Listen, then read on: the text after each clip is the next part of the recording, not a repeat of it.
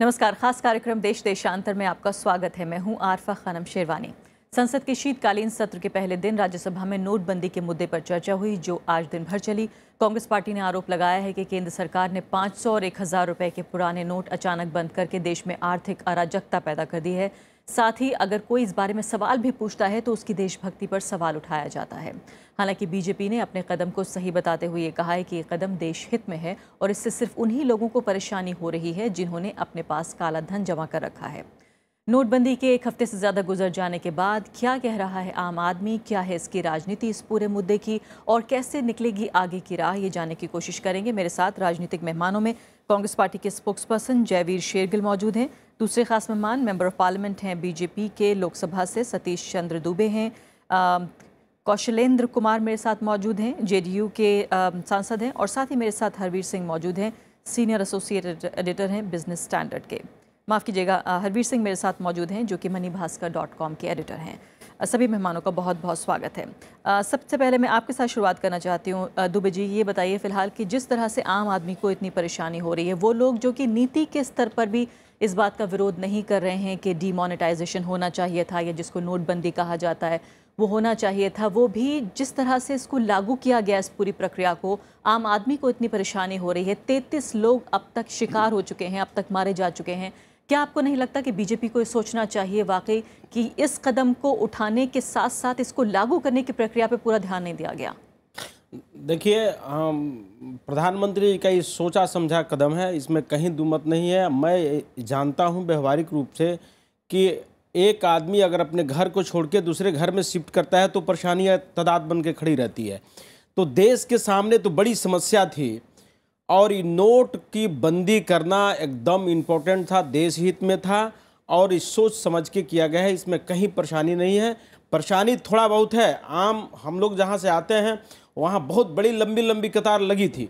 लेकिन हम लोग जाके जब पूछते थे तो एक ही बात आती थी कि देर से बेर ठीक हो जाएगा हम लोग संतुष्ट हैं इसमें कहीं परेशानी नहीं सतीश चंद्र दुबे जी आप बिहार से आते हैं बिहार में ग्रामीण इलाके भी हैं बहुत बड़ी तादाद में और कई इलाके इतने पिछड़े भी हैं जहाँ बहुत सारे ऐसे गाँव होंगे जहाँ एटीएम मशीनें भी नहीं होंगी।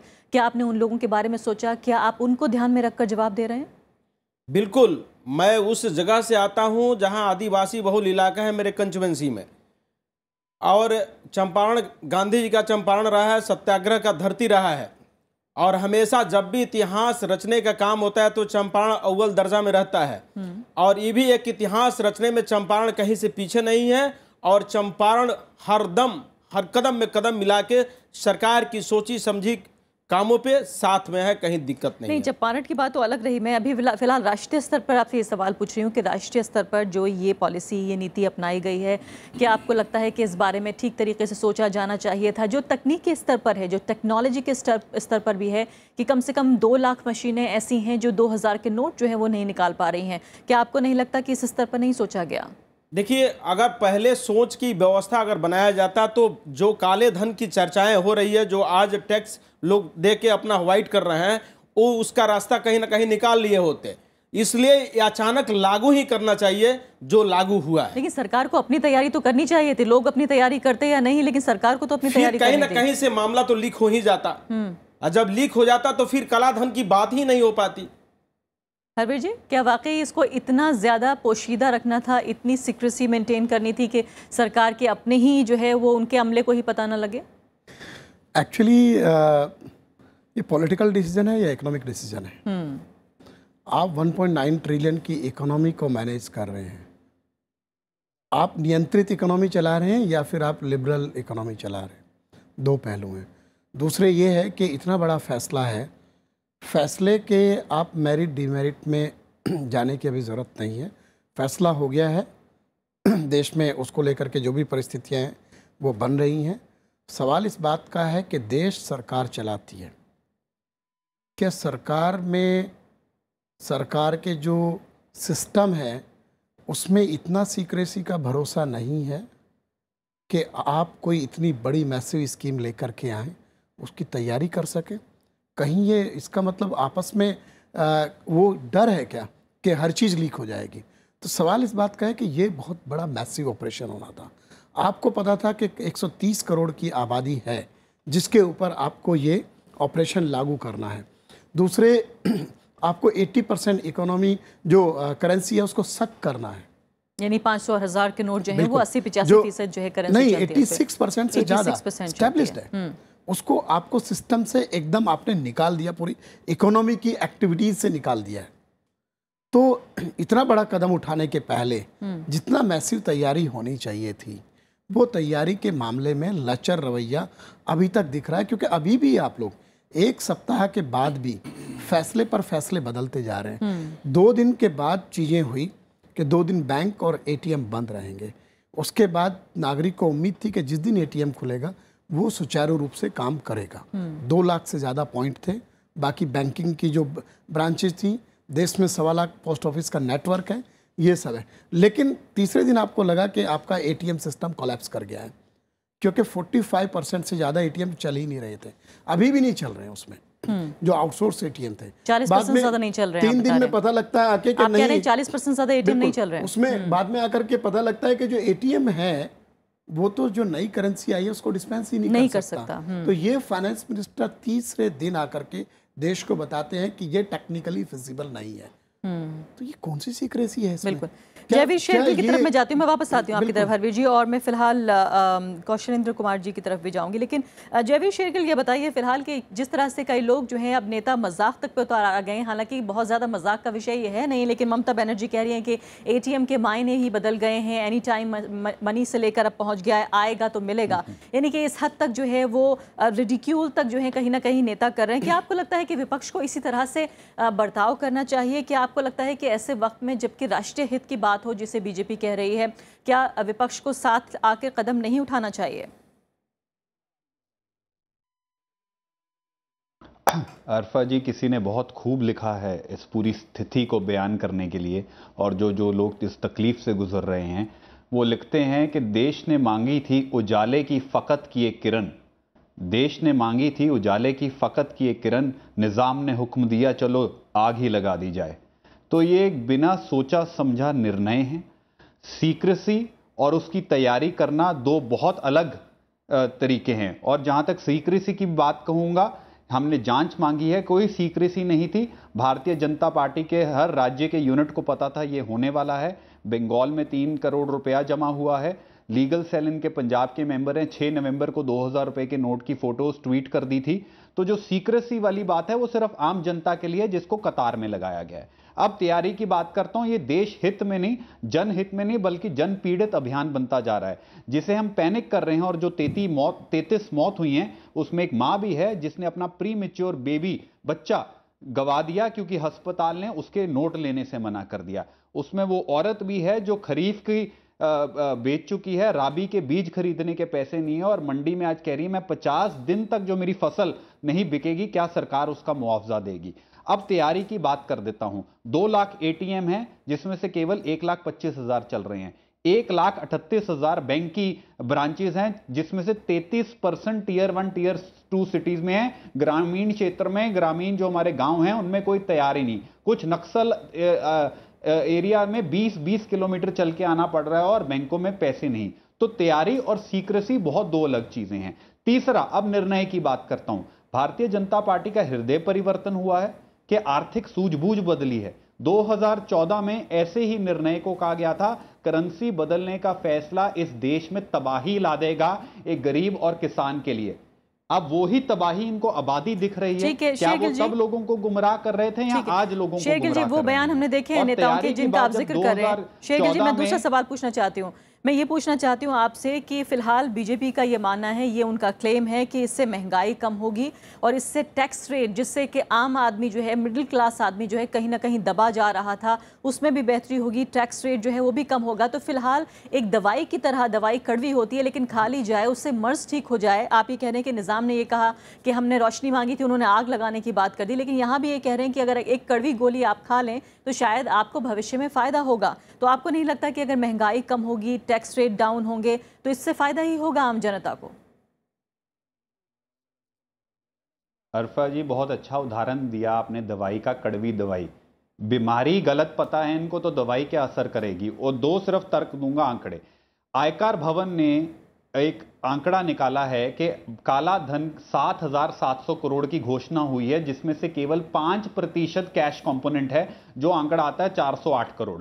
अरुण जेटली जी ने सांसद में कहा, पॉइंट ज़ीरो दो प्रतिशत केवल काउंटरफीट करेंसी है जो आती है 409 करोड़। तो 800 कुछ करोड़ के लिए आपने 16 लाख करोड़ आपने करेंसी मार्केट से खींच ली।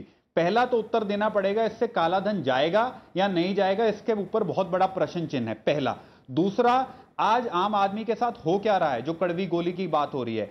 एनपीए माफ़ हो गए लोन राइट ऑफ़ हो गए। अब अरुण जेटली जी अपने शब्दावली में उसको घुमा रहे हैं। राइट ऑफ़ नहीं वेव ऑफ़ वेव ऑफ़ नहीं राइट ऑफ़ आम आदमी कह रहे हैं हमें चार हज़ार के लिए मोहताज कर दिया पर विजय माल्या का 1200 करोड़ रुपए का कर्जा माफ़ कर दिया।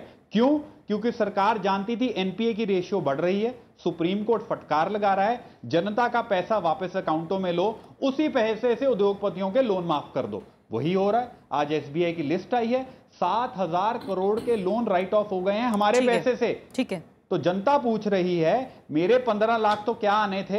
मेरी हम्म। जेब से लेके आपने उद्योगपतियों के लोन माफ़ ठीक है शेख जी। तो कौन सी महँगाई? रियल एस्टेट की बात करता हूँ। ठीक है मैं आती हूँ वापस आपकी तरफ़। और मेहमानों को शामिल करना चाहती हूँ। कल को रियल एस्टेट मार्केट क्रैश करती है। आठ लाख करोड़ की रिकवरी सरकार कैसे करेगी? शेखिल जी यहाँ पर जेडीयू के सांसद बैठे हैं। मैं उनकी तरफ़ जाती हूँ, फिर आपकी तरफ़ वापस आने की कोशिश करूँगी। कौशलेंद्र जी, ये बताइए, फ़िलहाल कि जो अभी कांग्रेस पार्टी के प्रवक्ता ने कहा कि हमने तो थोड़ी सी रोशनी मांगी थी और निज़ाम ने सरकार ने जो है पूरा आग ही लगा दी। दूसरी बात ये भी महत्वपूर्ण कही जा रही है कि कहीं ना कहीं जो पूरी अर्थव्यवस्था है भारत की, जो कि कैश बेस्ड इकॉनमी है, सरकार के इस कदम से हो सकता है कुछ काला धन वापस हो हो सकता है कुछ राहत हो, लेकिन पूरी इकॉनमी जो है वो काफ़ी हद तक धीमी हो जाएगी। क्या जेडीयू का यही मानना है? देखिए, माननीय प्रधानमंत्री जी ने एक हज़ार और पाँच सौ का नोट पर जो पाबंदी लगाया, पाबंदी लगाने से काला धन समाप्त तो होगा। कई तरह के लगाम लगेंगे, ये स्वागत योग्य है। लेकिन जो प्रक्रिया है, जो तैयारी है, जो उनको काम करने का तरीका था, वो गलत हो गया है। कुशासन उसी को कहते हैं। यानी नीति से आपका विरोध नहीं है?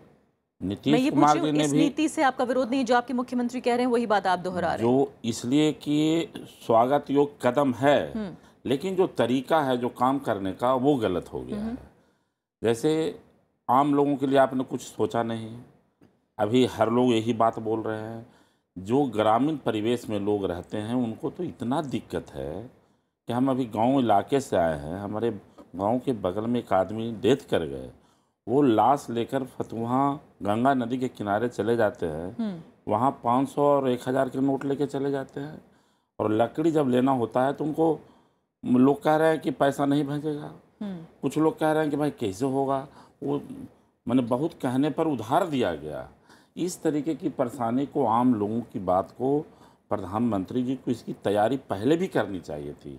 जिस तरीके से अभी हमारे बता रहे के सांसद कह रहे हैं कि, कि अगर बता देते तो सब पता ही लग जाता लोगों को और फिर कैसे होता? वो कह रहे हैं कि इसमें पोशीदा रखना सबसे बड़ी बात या कोई हो हम्म। ये प्रधानमंत्री जी जो बोल रहे हैं वो बात कह रहे हैं। लेकिन आम जनों का जो दिक्कत है सुबह आज मैं ट्रेन से उतरा हूँ पटना राजधानी से आठ बजे मैं जिस रास्ते से आ रहा था हर जगह पाँच सौ 500-600 आदमी का नंबर लगा हुआ था। हम्म। मैंने पूछा उतर कर लोगों ने यही बताया कि हम लोग भोर से ही नंबर लग जाते हैं सर। अगर लेट होता है तो हम लोग एक दिन में पैसा नहीं ले पाते हैं।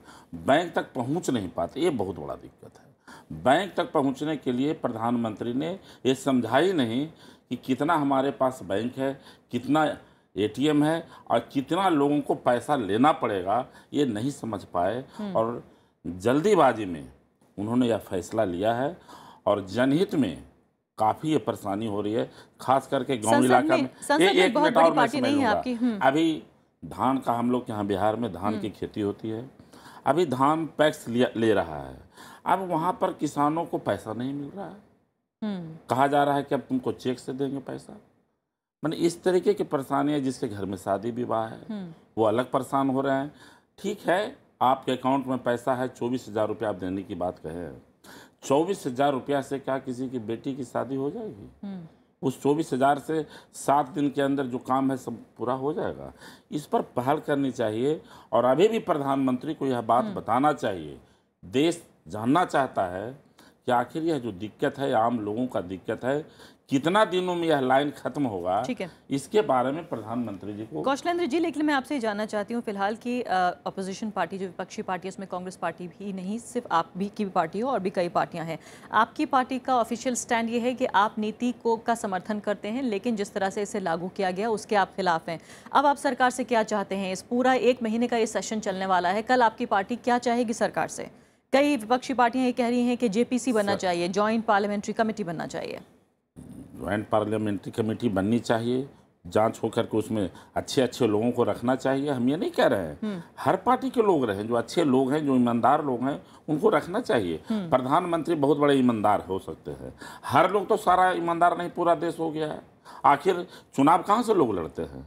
हम भी लोकसभा का चुनाव लड़के आते हैं सब लोग लड़के आते हैं। कोई बता दे कि बिना ब्लैक मनी के कोई चुनाव लड़के आता है? हम्म, बहुत बड़ा सवाल आपने उठाया सतीश चंद्र दुबे जी प्रधानमंत्री ने यह भी कहा है कि जो स्टेट फंडिंग है इलेक्शन की वो शुरू होनी चाहिए। यानी कि राज्य जो है वो फंडिंग करे स्टेट जो है वो एक तरह से फंड इकट्ठा करके फिर इलेक्शन लड़ा जाए।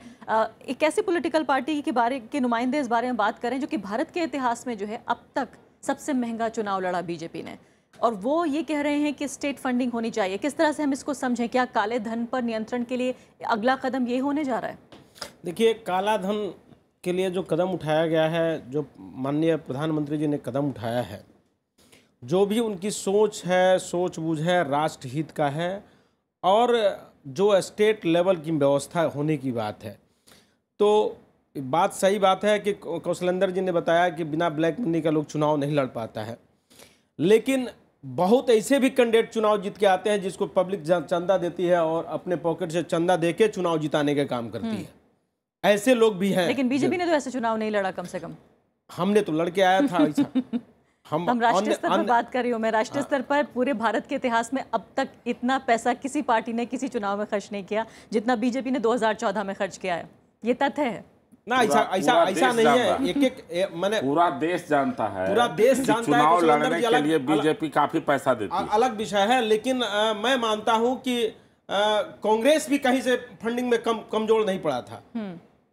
कांग्रेस भी काफ़ी रुपया खर्चा किया नहीं लेकिन तो ये आपकी या मेरी राय नहीं है तथ्य है जो मैं आपको बता रही हूँ वो राय नहीं है ये तथ्य है कि सबसे ज़्यादा पैसा खर्च किया गया। चलिए छोड़िए इस बात को किस पर किसी और दिन चर्चा करेंगे। मैं आपसे ये जानना चाहती हूँ कि जो ब्लैक मनी है, यानी कि जो पैसा आ गया है, आप उस पर उसको तो कर्व करना चाहते हैं, उस पर रोक लगाना चाहते हैं, लेकिन जो सोर्स है ब्लैक मनी का, उस पर आप कोई ध्यान नहीं दे रहे हैं। किस तरह से ये ब्लैक मनी का पूरा मार्केट काम करता है, पूरा बाज़ार काम करता है, इस पर कोई ध्यान नहीं है। कांग्रेस पार्टी के लोग ये कह रहे हैं कि दरअसल ये सिर्फ़ एक पब्लिक रिलेशन एक्सरसाइज है जो बीजेपी कर रही है, कि एक तरह से एक प्रोजेक्शन हो जाए, सब लोगों को ये पता चल जाए कि हमारी नीयत ये है कि हम करना चाहते हैं, लेकिन हाथ में कुछ ना आए। ऐसा कुछ नहीं है। देखिए, कांग्रेस का काम है, विपक्ष में है तो विपक्ष का काम है हर हर बिंदु पर कमी खोज के उंगली उठाना। और जब, जहाँ अच्छा काम होता है, कहीं ना कहीं कुछ कमियाँ देख के विपक्षी उसको हाईलाइटेड करते ही हैं इसमें कहीं दो मत नहीं है। मैं एक छोटा सा उदाहरण देना चाहता हूँ कि ग्राहक सेवा केंद्र एक सेंट्रल बैंक का एक गाँव की बात मैं बता रहा हूँ कि जिस रात को आठ तारीख को घोषणा हुई और नौ तारीख को बैंक बंद रहा, लेकिन दूसरे दिन एक छोटा सा गाँव से 18 लाख रुपया ग्राहक सेवा केंद्र पर जमा होता है और बड़े बड़े बैंकों में लाइन लगा रहता है कि पैसा मेरा जमा हो जाए। कहीं ना कहीं पैसा रखा गया था, पैसा मार्केट में, रोटेशन में नहीं आ रहा था और ब्लैक मनी को व्हाइट करने के लिए भी मौका दी थी गवर्नमेंट। 30 सितंबर तक 30 परसेंट रुपया टैक्स लेके और व्हाइट करने की भी मौका दी थी और गवर्नमेंट सोची समझी प्लानिंग के तहत काम कर रही है। और परेशानियाँ हो रही है। मैं भी मानता हूँ एक हफ़्ते में आपका क्या प्लान है? क्या कुछ राहत होगी कुछ लोगों को? परेशानी जितनी हो रही है। क्या कुछ कैसे क्या प्लान बताइए मुझे? प्लान कल, ऑफ़ एक्शन क्या है? कल तक आपको दस हज़ार रुपया मिलता था लेकिन अब चौबीस हज़ार रुपया एक पब्लिक को मिल रहा है। और कभी भी कौशलेंद्र जी लड़की की शादी की बात कहे मैं मानता हूँ कि अगर आप किसी भी टाइम इसको लागू करते तो परेशानियाँ तो होनी थी। अगर एक महीना के बाद अगर जनवरी फरवरी से आप लागू करते हैं तो लड़की की शादी लड़का का शादी बहुत बड़े पैमाना पे उस समय होता है। अगर मई जून के बाद जाते हैं तो आपको धान की खेती का समय होता तो किसान हल्ला करते तो कभी कोई ऐसा सत्र नहीं है कोई ऐसा समय नहीं है कोई ऐसा महीना नहीं है जिसमें कामे नहीं हो मनुष्य का। आवश्यकताएँ की चीज़ें नहीं हो। उनको जवाब देने देते तो हाँ। परेशानियाँ तो होगी। एक मेरा छोटा सवाल है। इतिहास में अगर हमारा बैंक में रुपया दो लाख जमा है हम बेटी की शादी करेंगे हमें दो लाख रुपया अगर निकालना है तो सरकार का कौन नियम है? कौन नियम के तहत कहता है कि हम चार हज़ार रुपया देंगे या चौबीस हज़ार रुपया देंगे? क्या उस पैसे जो बाकी पैसा है उसका कोई सूद सरकार देगी या बैंक देगी? आप हमको बताइए। सांसद जी देश हित की बात है। अरे देश आप का भाई अपनी हमारा की पैसा की परिश्रम बढ़ा का सकते हैं। लेकिन देश दुबे जी ये कोई चुनावी रैली नहीं है ये स्टूडियो का कार्यक्रम है। यहाँ तथ्यों से बात करिए दर्शक हमारे देख रहे हैं और आपसे जानना चाहते हैं कि अगले आने वाले दो हफ़्ते में आप क्या करने जा रहे हैं। पूछेगी और जनता हमसे सुधार भी पूछेगी। सही बात को यहाँ सुधार रखिए। होने जा रहा है और दिन प्रतिदिन सुधार हो रही है। लेकिन नारेबाजी से जो है वो लोगों का हित नहीं होगा ये जो परेशानियाँ ज़मीन पर आ रही हैं इसका आप मुझे हल बताइए कि क्या आपका रोड मैप क्या है अगले दो हफ़्ते में? कैसे कम होगा? कैसे लोगों की परेशानियाँ कम होंगी? हमने तो देखा है और आप भी देख रहे हैं। आज मैं लोकसभा से आने के बाद मैंने जब टीवी खोला तो देखा कि अ, लोग बोल रहे हैं कि थोड़ी बहुत परेशानियाँ हो रही है और हम लोग ठीक ठाक हो रहा है व्यवस्था। और उतनी लंबी भीड़ नहीं मिल रही है लोकसभा के सांसद होके आपको अपनी जनता के बारे में टीवी से पता चलता है चलिए ये भी खुशी की बात है। हरवीर सिंह ये बताइए फ़िलहाल। मैं कल कल अपने कंस्टिट्यूंसी से आया मैं एक एक बैंक के स्तर से घूम के आया था। और आज की बात मैंने बताया जो लोकसभा से आने के बाद टीवी देखा तो ठीक है। हरवीर जी बताइए अब आने वाले दो हफ़्ते जनता ये जानना चाहती है दर्शक जो कार्यक्रम देख रहे हैं वो भी ये जानना चाहते हैं कि इस राजनीति को कुछ देर के लिए भूल जाते हैं। हालाँकि विपक्ष का ये आरोप है कि पूरी तरीके से राजनीतिक कदम है। ये बताइए कि आने वाले दो हफ़्ते कैसे होंगे आम लोगों के लिए? देखिए डिपेंड करेगा। एक तो आ, किस तरीके से गवर्नमेंट कैश मैनेजमेंट करता है आरबीआई और बैंक्स जो हैं क्योंकि बहुत मैसिव कोशिश हो रही है प्रिंटिंग की नोट प्रिंटिंग की क्योंकि आपको रिप्लेस करना है ये करेंसी। तो लेकिन उसकी भी अपनी कैपेसिटी है। मतलब ऐसा नहीं कि आप जो 2000 के या 500 के नोट नए छाप रहे हैं उनको इतना तेज़ी से छाप देंगे कि 2200 करोड़ रुपया 2200 करोड़ नोट वैल्यू नहीं पेपर्स वो आपको रिप्लेस करने हैं। उसमें से कितने नहीं आएँगे ये देखने की बात है। But this number of the currency तो ये आपको छापने के लिए बहुत लंबा समय लगेगा। और आपकी करीब करीब जो है आपकी इकोनॉमी में 12-13 परसेंट का जीडीपी का कैश सर्कुलेट करता है हमारी इकोनॉमी में। दूसरे आपका बहुत बड़ा हिस्सा इकोनॉमी का कुछ कामों में 80 परसेंट तक कैश इकोनॉमी है। तो ये कैश की जो अवेलेबिलिटी है इसको सरकार बढ़ाने की कोशिश करेगी लेकिन अभी मुझे लगता है कि ये कैश क्रंच तो अभी जारी रहने वाला है। दूसरा सबसे बड़ा चैलेंज गवर्नमेंट क्या आप कह रहे हैं जो क्यू है जो पंक्तियाँ लगी हुई हैं वो लंबी होंगी देखिए या पंक्तियाँ आपको हो सकता है कि मेट्रो शहरों में छोटी होती दिखे। हो जाए हम्म। लेकिन जो देश की साठ पैंसठ फ़ीसदी आबादी जो देहात में रहती है, जो सेमी अर्बन एरियाज़ में रहती है, उनके लिए ये मुद्दा अभी लंबे समय तक जारी रहेगा, उनको क्रंच रहेगा। दूसरा बड़ा इशू है कि जो धंधे कैश से होते थे, आपने कहा कि करंट अकाउंट में पचास हज़ार रुपया आप निकाल सकते हैं। अगर कोई अनऑर्गेनाइज सेक्टर में कहीं सौ वर्कर काम करते हैं और उनको वीकली भी वो पेमेंट करते हैं तो पचास हज़ार से कैसे पेमेंट करेगा वो व्यक्ति? इट मीन्स बहुत सारे काम धंधों में लेबर वापस जा रही है। तो ये आपका मैन्युफैक्चरिंग हाल्ट हो रहा है। वो आपका गारमेंट में होगा वो आपका डेयरी सेक्टर में होगा इवन एग्रीकल्चर एक्टिविटीज़ में होगा मंडियों में काम बंद हो रहे हैं। तो ये सरकार के ऊपर दबाव आएगा कि ये लिमिट किसी तरीके से बढ़ाए। क्योंकि आम आदमी का भी जो साढ़े चार हज़ार रुपया का फंडा है या आपका अकाउंट जिस बैंक में है उसमें आप एक सप्ताह में चौबीस हज़ार रुपया निकाल सकते हैं। तो उसमें जो बड़ी जरूरतें हैं वो कैसे पूरी होंगी? तो जी मेरे पास समय बिल्कुल समाप्त हो गया। आखिरी सवाल एक जयवीर शेरगिल जी से पूछना चाहूँगी। जयवीर जी बताइए फ़िलहाल कांग्रेस पार्टी पर लगातार आरोप ये लग रहा है कि अभी विपक्ष में चूँकि आप हैं तो आपत्ति खड़ा करने के लिए आपत्ति खड़ी कर रहे हैं लेकिन जब लगातार आपकी सरकारें रही आज़ादी के बाद से ज़ाहिर है कांग्रेस पार्टी की सरकारें रही हैं तब आपने लगातार इस बात को जो है प्रोत्साहन न दिया हो तब भी कम से कम रोकने की कोशिश नहीं की लोग काला धन जमा करते रहे। लेकिन अब जब आप विपक्ष में हैं तो आवाज़ उठा रहे हैं। ये बताइए अब के अब आने वाले दिनों में संसद में आप सरकार से क्या चाहेंगे? आज तो हमने देखा काफ़ी नाटकीय ढंग से जो है वो कांग्रेस पार्टी के नेता जो है प्रधानमंत्री को घेर रहे थे, बातें कर रहे थे, लेकिन क्या जेपीसी की मांग कांग्रेस पार्टी भी करेगी? तीन स्पष्ट मांगे हम रखने वाले हैं और हमने रखी भी है।